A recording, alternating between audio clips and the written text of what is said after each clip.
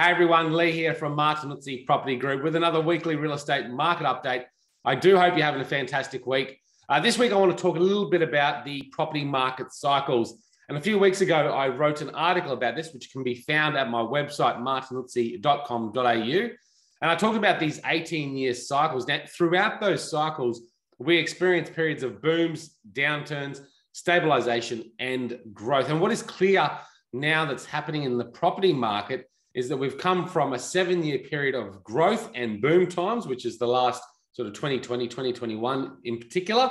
And now we're coming into a period of probably stabilization and maybe even decline as well. And some of the charts that I've seen and, and been shared um, says that that'll run for a period of four years. So we're certainly starting to see that now, particularly in the southern markets that usually lead the way um, in those property market cycles, because that's where um, the population and the demand for property is much more significant than some of the regional areas or country areas around Australia as well. So, what normally happens is that we'll see Sydney and Melbourne go through this period of growth and boom, um, just a snippet before we experience it up here on the Sunshine Coast. So, it only makes sense that if they're starting to experiencing that stabilization and even downturn now in those southern markets, that we will ultimately experience it up here sometime soon.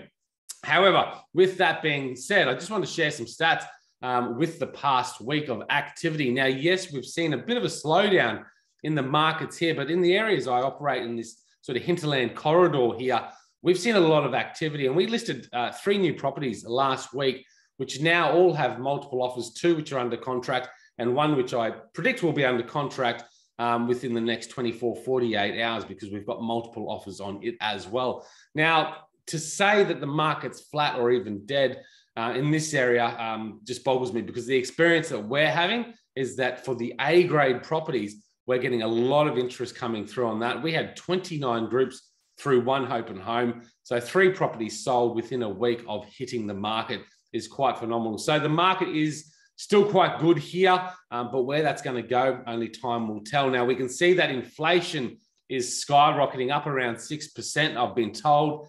And the government's trying to tackle that as hard as they can, which is why they rose the cash rate last week um, by 0.5%, which is a, a record increase or, since uh, 20 years ago.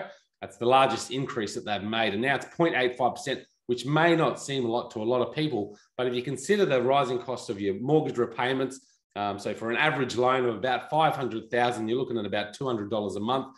And then you can look at the price of fuel, energy, food, all these costs of living, the essential living costs, um, whilst wages still really haven't done much at all, um, mean that people are going to put more of their income into those essential items and will have less money to put into purchasing, i.e., property or, or luxury items as well.